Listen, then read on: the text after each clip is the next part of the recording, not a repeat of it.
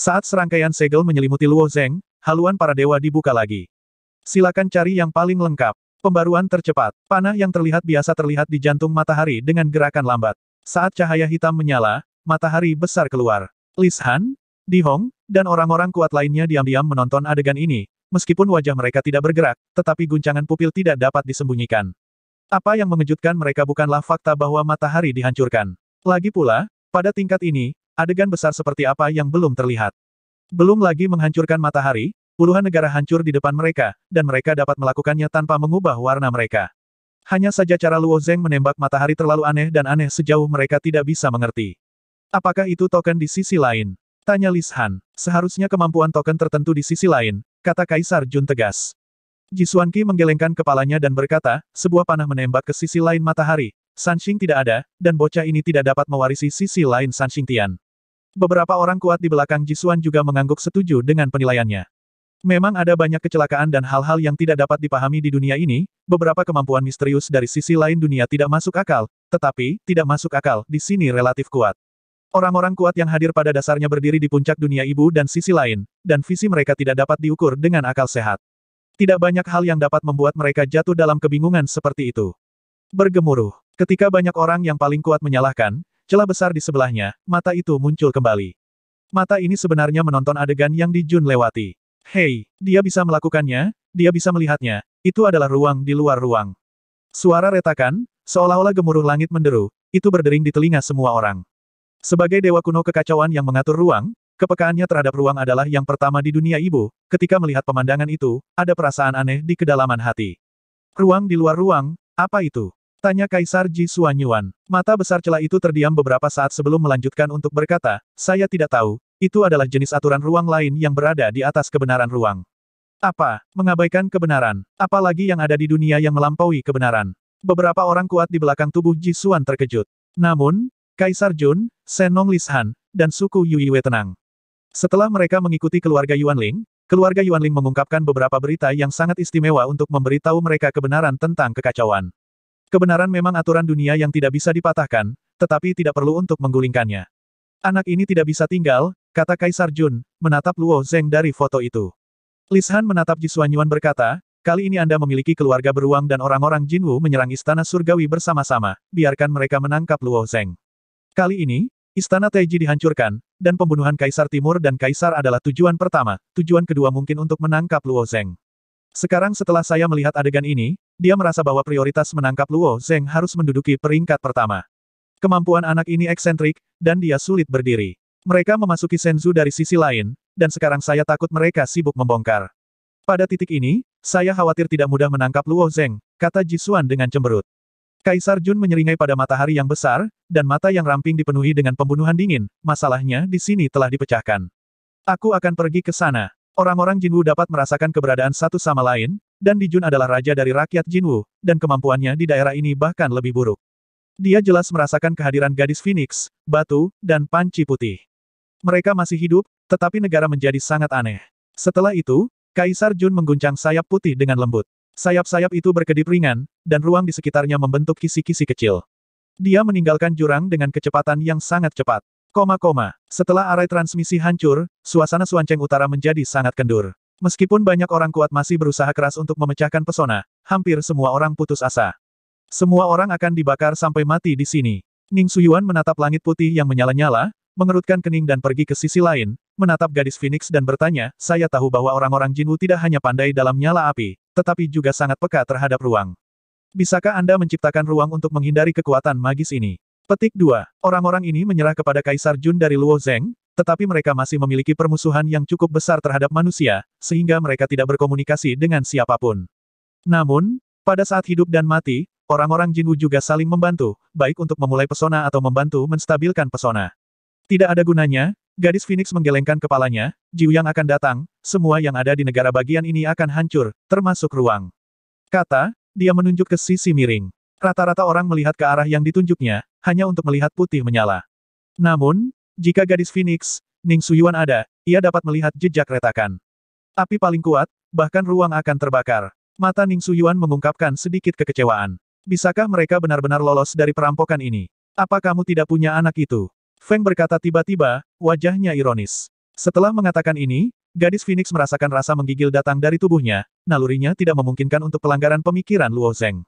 Luo Zeng, Ning Suyuan tersenyum pahit. Dia menciptakan banyak jejak, tetapi tidak mungkin untuk selalu membuat jejak-jejak.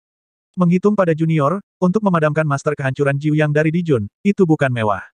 Suaranya tidak jatuh, dan cahaya langit tiba-tiba memudar. Ning Suyuan dan gadis Phoenix saling menanti, dan semua orang di Suan Cheng Utara mendongak. Meskipun langit menyala, ia masih bisa membedakan sembilan matahari besar, tetapi saat ini, hanya ada delapan yang tersisa. Mata Phoenix itu berputar-putar, seperti sepasang mata kucing, mengamati sekeliling di udara, ia berpikir bahwa matahari lain telah bergerak dan ingin menemukannya dari langit. Ning Suyuan menatap langit. Seperti gadis Phoenix, dia menebak apakah kedua matahari tumpang tindih, dan dia tidak bisa membayangkan bahwa matahari ditembak. Ketika mereka mencarinya, langit tiba-tiba memudar lagi, dan matahari lain menghilang. Matahari sudah terbit. Ketika Ning Suyuan masih tidak yakin, Baik Xuan Cheng sudah berteriak. Ya, keluarkan dua. Ada harapan, jika kamu melanjutkan, itu pasti akan padam. Menghilang dua matahari, alasan sebenarnya belum dikonfirmasi, tetapi ada badai harapan di Suanceng Utara, semua orang menatap langit putih yang menyala-nyala. Cahaya yang kuat hampir bisa menyengat mata mereka, terutama yang memiliki kekuatan rendah. Tidak ada yang mau sujud, itulah satu-satunya harapan bagi semua orang untuk hidup. Semua orang menahan napas, dan naluri untuk bertahan hidup membuat mereka memperhatikan setiap gerakan di langit. Setelah beberapa saat, matahari ketiga padam di mata semua orang. Hei, ada suara mendidih lain di seluruh Suanceng Utara. Apakah Kaisar Junjun membiarkan kita pergi? Seharusnya. Tapi kenapa dia melakukan ini? Karena orang-orang Jinwu ditangkap oleh kita. Banyak orang mulai terlihat pintar karena alasan mereka. Mereka tidak tahu bagaimana Luo Zeng menangkap orang-orang Jinwu, tetapi orang-orang Jinwu mematuhi pos di depan Luo Zeng, yang secara alami dianggap sebagai tawanan. Cukup banyak orang berpikir bahwa Kaisar Jun berpegangan tangan. Masih ada beberapa orang yang keberatan lainnya. Apakah itu tembakan Luo Zeng dan menyapu matahari? Aku melihatnya meninggalkan Suanceng Utara dan terbang ke matahari.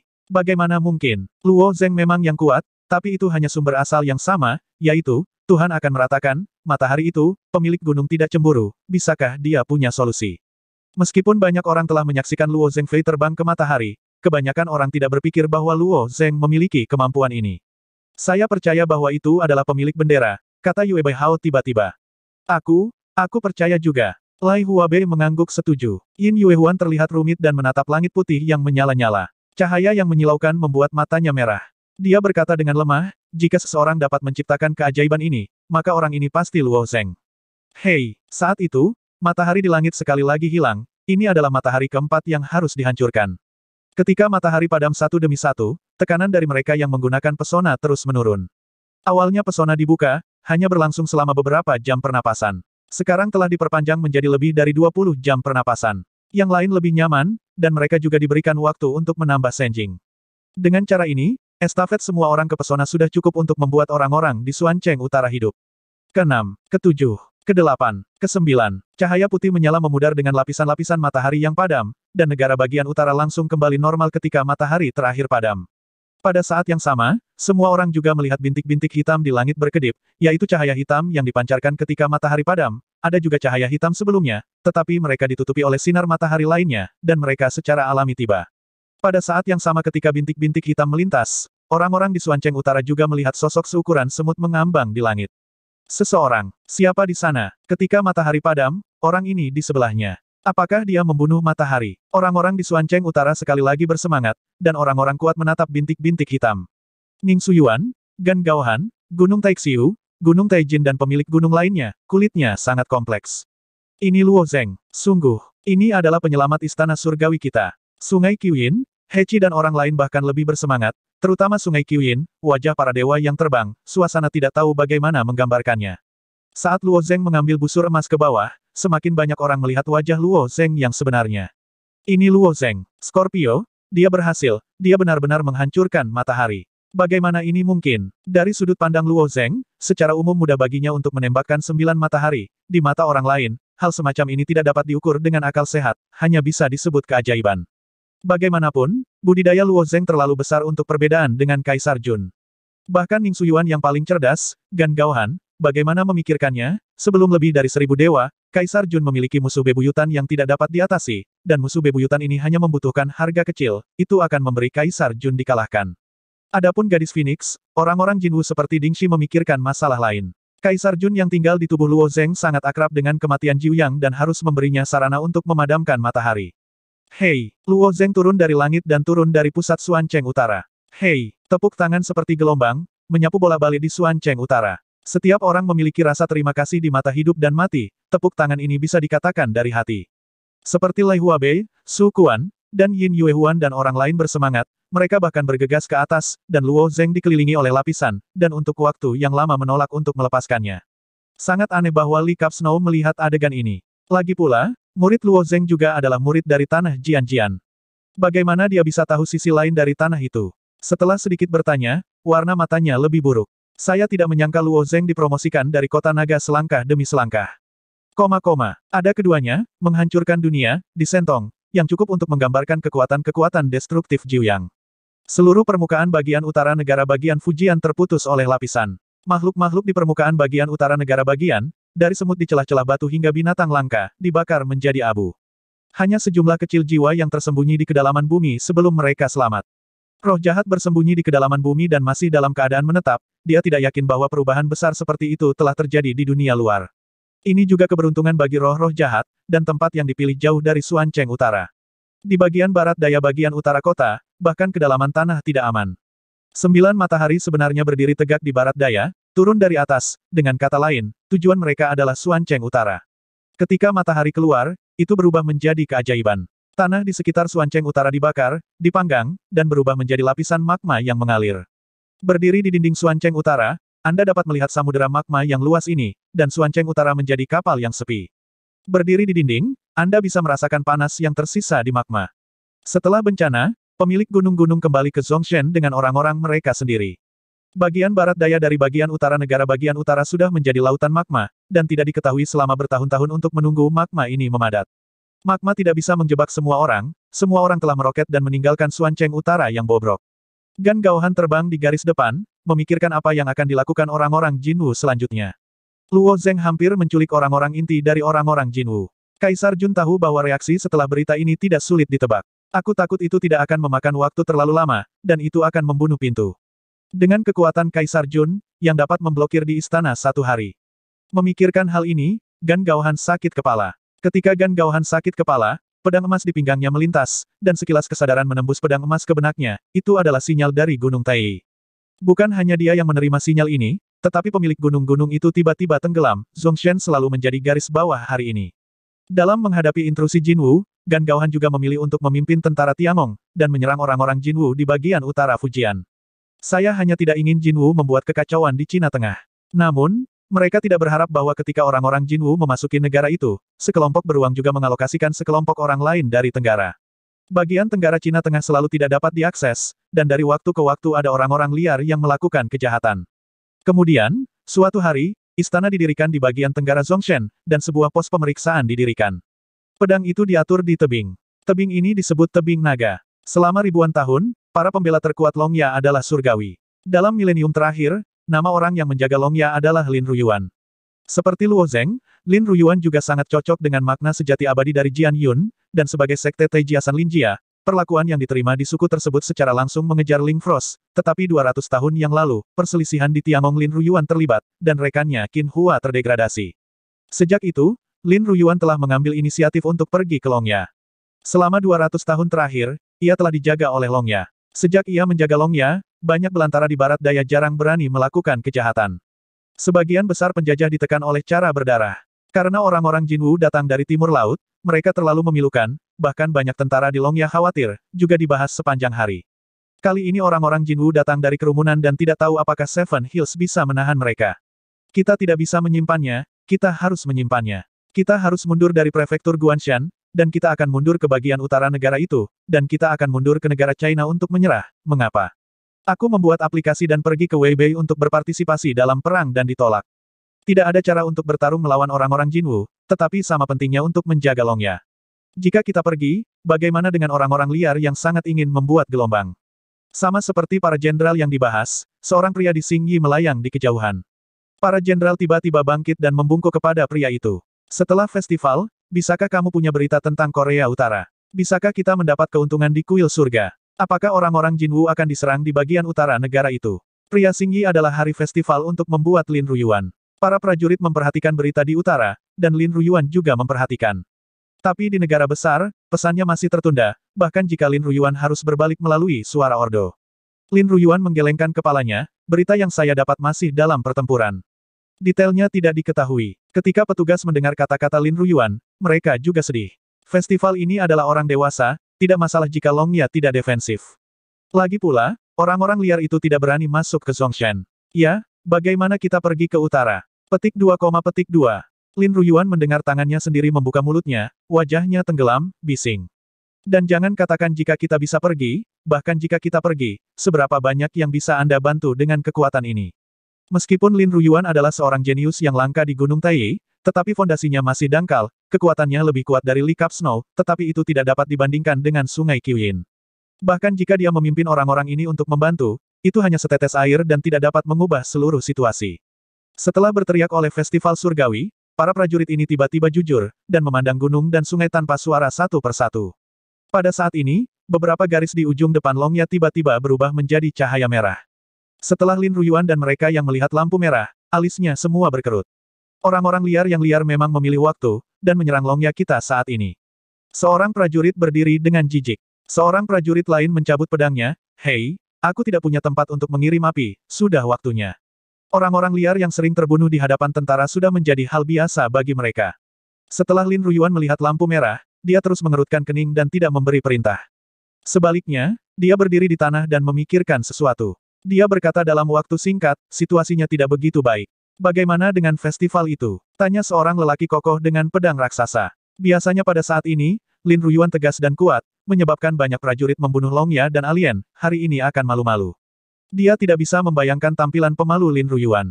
Lin Ruyuan menunjuk ke lampu merah dan berkata, arai tulang, arai mimpi, dan arai roh semuanya dihancurkan dengan paksa. Bisakah Anda menjadi rahasia, gambar, dan pasukan? Yang lain juga memperhatikan ada sesuatu yang salah, dan mereka menatap mata mereka pada lampu merah, dan masing-masing tiba-tiba menjadi bermartabat. Arai tulang, arai mimpi, arai roh ada dalam arai rahasia, di belakang arai dan skuad, tiga pertempuran pertama dihancurkan secara paksa, menunjukkan arai rahasia, peta dan skuad juga dihancurkan, tetapi tidak bisa melihat di sini. Situasi tiga susunan. Ini menunjukkan bahwa arai rahasia, arai dan regu rusak oleh orang-orang. Orang-orang liar dan eksotis memiliki segala macam bakat yang kuat, tetapi kebijaksanaan umumnya tidak sebagus ras manusia, apalagi memecahkan susunan yang rumit seperti itu. Lampu merah ini memberikan kembali pertanyaan, ada berjerawat yang sangat kuat di antara penjajah. Dengan kata lain, penjajah tidak liar dan asing. Dalam periode sensitif ini, berita kecil ini layak untuk kewaspadaan mereka. Pedang darah, terbuka, Lin Ruyuan mengeluarkan perintah pada pertama kalinya. Arai pedang berdarah adalah susunan pedang besar pertama di Longya. Sejak pembangunan Longya, itu hanya diluncurkan tiga kali, dan itu adalah waktu ketika Kaisar secara pribadi membasmi tiga liar dan penduduk. Arai pedang berdarah belum pernah dibuka. Hei, lampu merah berdarah melintas di seluruh tebing naga. Tebing gunung yang besar ini seperti naga yang memandang ke langit, ketika darahnya besar, itu lebih seperti beberapa titik. Luasnya nafas mengikuti tebing naga, Lin Ruyuan berdiri sendirian di tempat, wajahnya masih berwibawa. Namun, tiga atau lima jam bernapas, tiga ribu kaki di seberang longnya, sesosok muncul.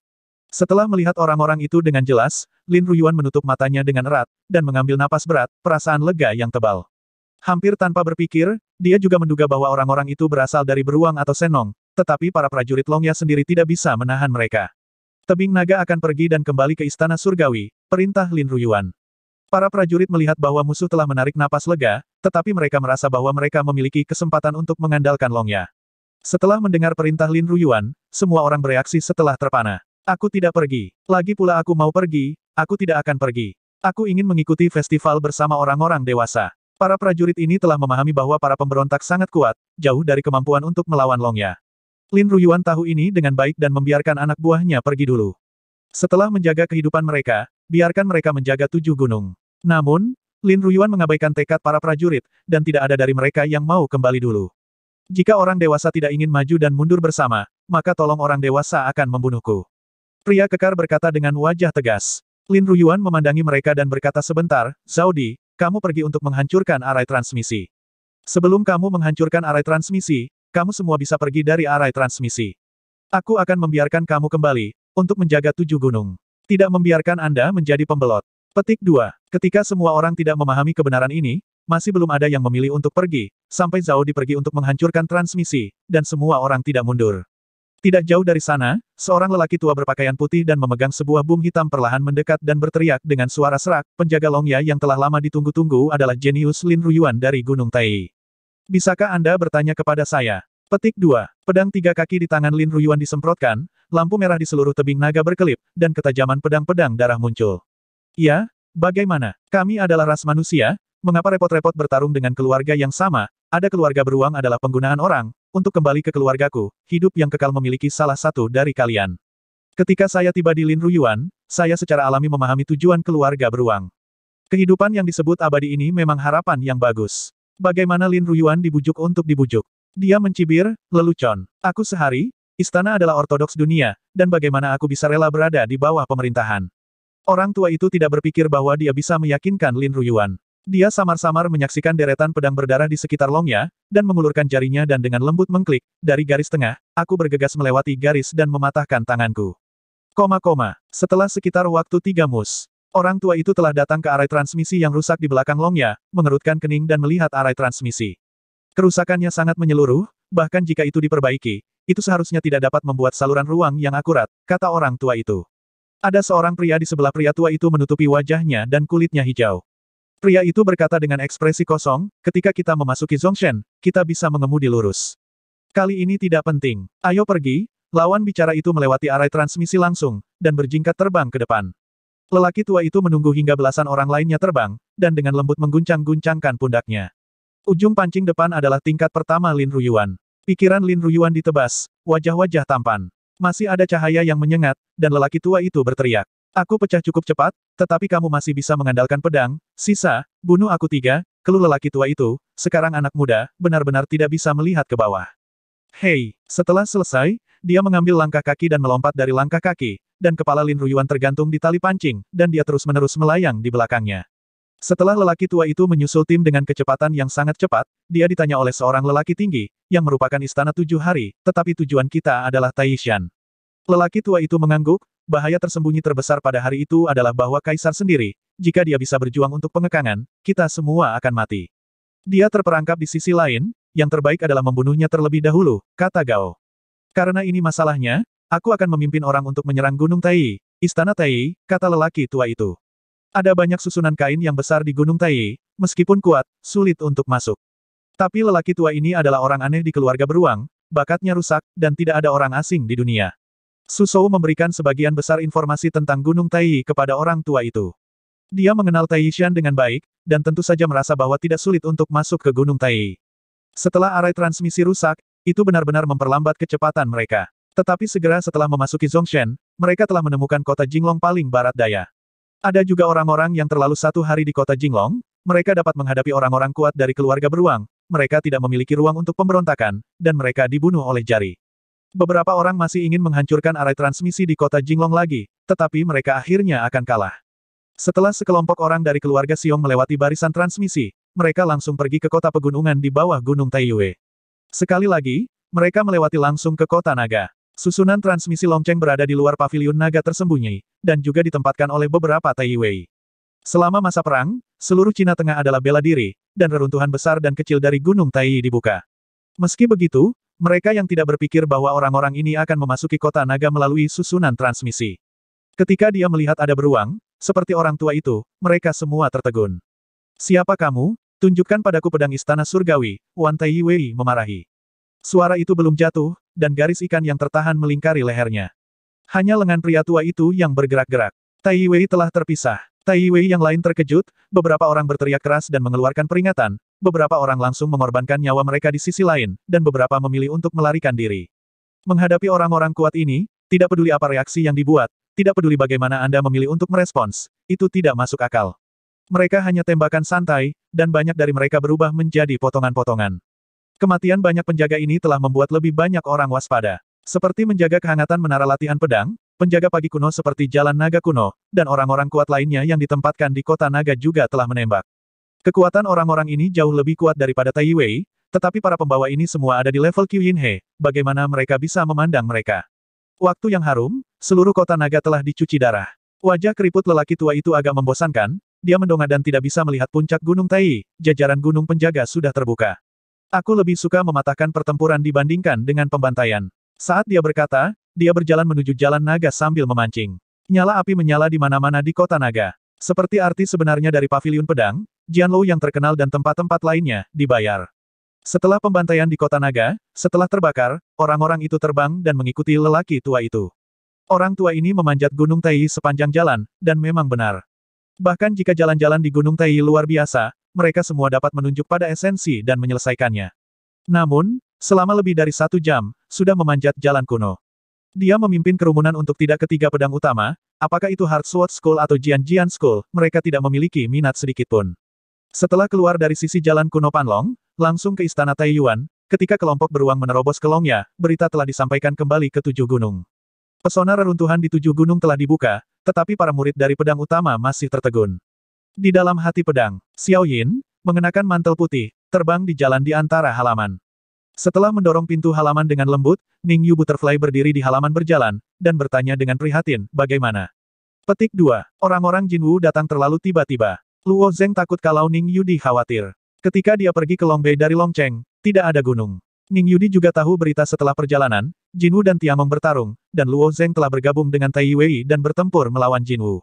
Mengatakan tidak takut bahwa alam itu palsu, tetapi setelah mengalami begitu banyak dengan Luo Zeng, kemampuan Luo Zeng untuk menyelesaikan krisis masih cukup dimengerti. Dia percaya bahwa Luo Zeng dapat kembali dengan aman. Situasinya tidak terlalu baik, kata Xiao Yin sambil tersenyum. Apa yang tidak baik? Ning Yu Butterfly Heart. Xiao Yin ragu-ragu setelah beberapa saat dan berkata, saya mendengar bahwa di bagian utara negara bagian, Kaisar Jun melepaskan perusak Jiuyang, dan membakar segala sesuatu di bagian utara negara bagian. Berita itu secara alami dikatakan oleh orang-orang yang melarikan diri dari barisan transmisi. Kemudian saluran transmisi dihancurkan, mereka mengira bahwa Suanceng Utara telah terbakar dan tujuh gunung yang kuat terbunuh. Jiuyang menghancurkan dunia. Ning Yu Butterfly menatap. Xiao Yin mengangguk dan berkata, itu adalah kekuatan magis Kaisar Jun. Luo Zeng mungkin sangat sulit, sulit.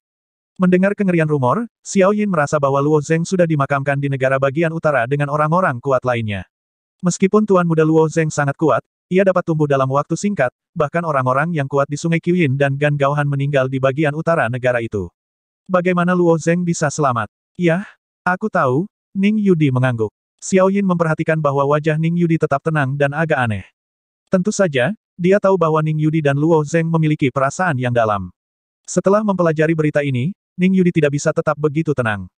Kekhawatiran Ning Yudi tentu saja mengkhawatirkan, tetapi selama bertahun-tahun dia belum pernah melihat Luo Zeng takut akan api. Jika benar-benar terbakar di bawah terik matahari, orang lain tidak bisa hidup, tetapi kemungkinan kelangsungan hidup Luo Zeng sangat besar. Pada saat ini, seorang wanita lain mengenakan gaun ungu melangkah dan buru-buru bertanya, Saudari Yin, ada berita tentang suamiku. Wanita berbaju ungu itu adalah Siusu. Setelah Luo Zeng melepaskannya dari dunia tubuh, dia tidak mengambilnya kembali, membiarkannya hidup di jantung pedang. Meskipun roh-roh jahat telah menjadi pemisahan Tao Luo Zeng, Zhu Xiuzu masih lebih peduli tentang roh-roh jahat. Di mata Xiuzu, selama roh-roh jahat tidak mengkhianati, Tuhan, akan ada masa depan yang cerah. Wanita di halaman telah melihat roh-roh jahat, dan dia memiliki kebencian yang hampir naluriah terhadap roh-roh jahat. Jadi dia juga dibenci dengan Xiuzu. Xiao Yin menatap Xiuzu dengan dingin dan segera berkata, dia adalah pria kecil tanpa nama, bagaimana saya bisa? Saya tahu bahwa kebanyakan dari mereka sudah mati. Di dalam negara utara. Petik 2. Mendengar jawaban Xiao Yin, bahu Xiuzu sedikit bergetar, matanya merah, dan dia tersenyum dan melewati tubuhnya.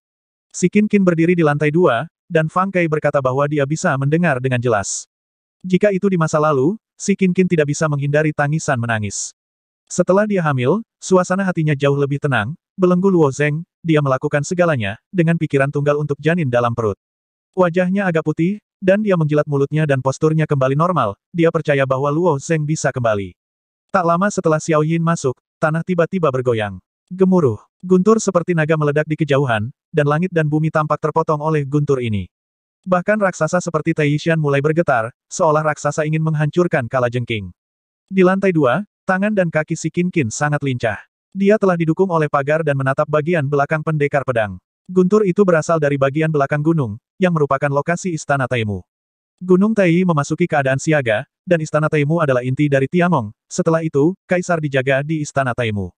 Jika diserang oleh Istana Taiyuan, itu akan dibunuh oleh Kaisar Timur, pilar terbesar dari istana satu hari benar-benar rusak. Di sisi kabut putih, lebih dari 60 orang melayang, dan kepala nelayan adalah orang yang membawa ikan. Baru saja dirilis Thunder adalah pria berambut merah, guntur seperti cacing masih mengebor di telapak seorang pria berambut merah, mendengarkannya tertawa, Wei Lau jalan ini seperti bambu pecah, sebenarnya dihentikan oleh sekelompok kabut putih ini saya benar-benar tidak mengharapkannya. Petik 2. Nama pria berambut merah itu adalah Zhu Hongkuan, yang merupakan adik lelaki dengan api berbentuk beruang. Wei Lao Jun menatap Zhu Hongkuan dan berkata sambil tersenyum, taktik sebelumnya sangat kuat, tetapi tekniknya tidak terlalu pintar. Itu semua pediatri ketika patah. Itu terlalu dini untuk pertama kalinya. Itu adalah Kaisar Timur sendiri. Petik 2. Saya hanya berharap bahwa Hongkuan telah menurunkan perilaku guntur di masa-masa awal guntur, dan Wei Laosin membenci yang ekstrim. Pria yang kasar adalah pria yang kasar. Ini berharap bahwa Hongkuan tidak akan memenuhi syarat untuk berdiri bersamanya jika dia memiliki saudara lelaki yang bertanggung jawab untuk lima latihan. Setelah Wei Laosin merasa jijik, ia dengan lembut menjilat ikan itu, dan tali pancing yang tipis dan panjang telah menghilang ke dalam kabut. Ini adalah awal dari dilema. Itu diatur dalam 18 pilar di Aula Taichu. Jika Anda tidak dapat menemukan 18 pilar, adalah mungkin untuk bergegas ke kehidupan batin untuk seumur hidup, kata Wei Lao sambil tersenyum. Pada awal hari, istana itu selaras dengan orang-orang Jinwu. Kaisar Timur dan Kaisar Jun lebih banyak bersaudara. Beberapa rahasia bukan rahasia dari dua ras, yang juga memberi keyakinan Wei Lao. Semua orang di istana Tai Chi gelisah. Guntur yang baru saja turun dari langit sudah cukup untuk menjelaskan kekuatan pihak lain. Untungnya, dilema itu tidak mudah dipecahkan pada awal hari, guru gemuruh yang bergemuruh itu jatuh di luar istana Taiyuan, dan istana Taiyuan sendiri tidak terluka. Tetapi bisakah ini benar-benar menyembunyikan orang-orang kuat di luar? Sebagian besar hati putus asa. Bagian depan kuil naga telah dikelilingi oleh tiga lantai dan tiga lapisan luar. Di lapisan terluar ada ribuan penjaga baju besi emas. Sebagian besar penjaga baju besi emas ini tidak sekuat lima bintang. Kecoa yang berdiri di depan pintu kuil sangat jelas. Begitu istana Tai rusak, penjaga baju besi emas ini bahkan tidak bisa berbicara tentang makanan meriam. Dia mengangkat kepalanya, matanya dengan mudah menembus lapisan kabut putih, dan jatuh pada orang-orang kuat dari keluarga beruang. Para prajurit dibagi menjadi dua cara, semuanya untuk mengambil keuntungan dari Beizu, sampai ke Sensu, dia menghela nafas. Ini sama sekali bukan strategi. Hanya saja hari ketika istana kekurangan para jenderal, tidak ada serangan balasan dalam menghadapi upaya bersama dari beberapa keluarga besar. Orang-orang kuat itu datang untuk melakukan kejahatan, bagaimana ini bisa baik, bagaimana kita menyingkirkan kaisar. Tidak jauh dari samping, piano itu bola-balik, panik. Cerita bersambung, terima kasih yang telah menonton, jangan lupa like, comment, and subscribe guys, karena subscribe itu gratis, bye.